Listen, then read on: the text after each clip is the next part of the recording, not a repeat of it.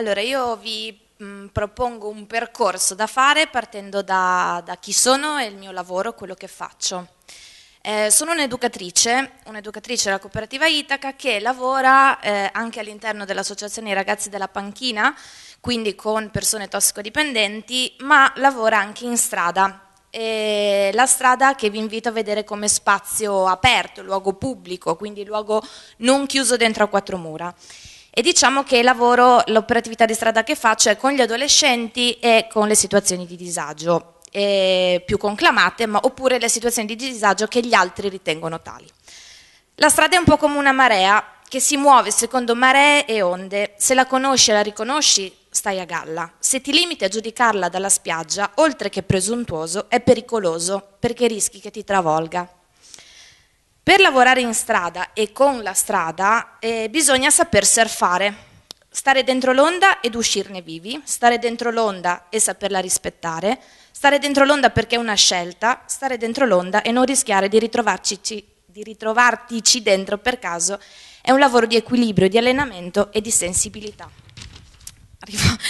In questo lavoro un aspetto fondamentale è l'ascolto attivo, cioè la capacità di comprensione verso l'altro. L'ascolto a volte non basta, c'è la necessità di qualcuno che traduca linguaggi, che traghettino informazioni. Saper ascoltare, ma anche saper raccontare e farsi capire. Il non ascolto, l'ho chiamato questa una vignetta, eh, ed è la situazione più frequente, soprattutto quando i due soggetti che devono comunicare sono diversi. Spesso questo è l'atteggiamento un po' delle istituzioni, almeno qui a Pordenone. Non so se riuscite a leggerla.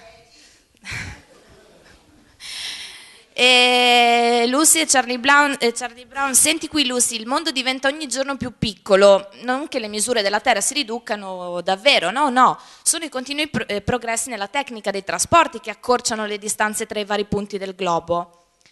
E Lucy dice, non l'avevo mai notato prima Charlie Brown, ma hai un naso buffissimo.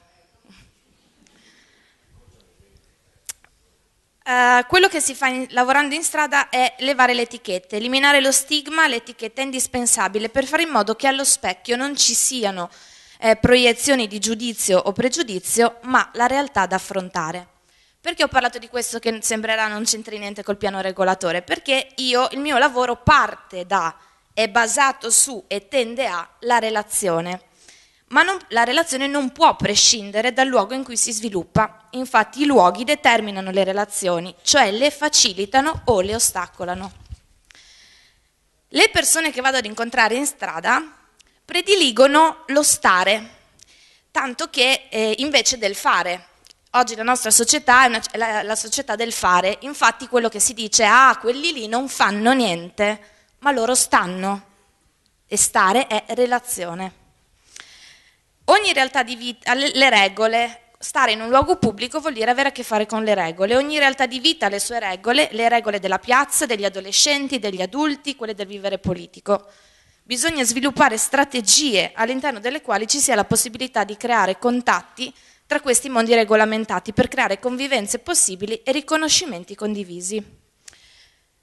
Questa è, una, l'esempio di una regola. Data una regola, per quanto fondamentale o necessaria, dice questo sociologo e filosofo austriaco, ci sono sempre circostanze in cui è opportuno non solo ignorare la regola, ma adottarne una opposta, calpe- divieto di calpestare il prato. Quindi le regole sono più, eh, non sono più importanti solo perché sono istituzionali o istu- istituzionalizzati. Ok, questa è una provocazione vietato il gioco del pallone, allora ci droghiamo. E questo, questo per dire che le regole non sono neutre, hanno sempre delle conseguenze. Quindi se vieto qualcosa lo elimino dallo spazio della possibilità, che quindi resterà vuoto e potrà essere riempito da altre possibilità. Arrivo. Ok, gestire il conflitto. Eh, dovremmo non avere paura di gest- imparare a gestire il conflitto. È più facile di fronte a un conflitto rispondere con divieti e sanzioni, facile e immediato. E questa amministrazione talvolta purtroppo tende a eh, adottare questo tipo di strategia perché lavora un po' per emergenze. Ma, scusa Monia, un secondo indietro, ma questo modo, lavorando per regole, divieti, eh, migliorerà forse eh, solo una delle due parti. Gestire il conflitto invece attraverso la relazione intesa come scambio e condivisione può dare molto di più.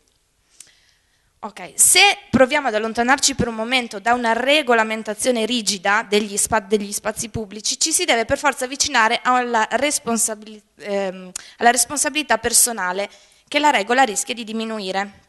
Ecco che bisogna educare alla responsabilità di chi vive la strada e lo spazio pubblico, ma anche di chi l'amministra.